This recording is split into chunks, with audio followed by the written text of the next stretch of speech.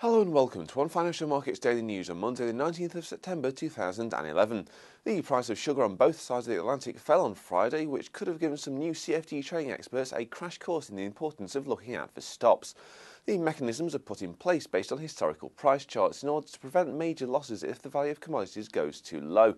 Traders who didn't react quickly to the stops on Friday could have been stung after the biggest intraday drops since mid March.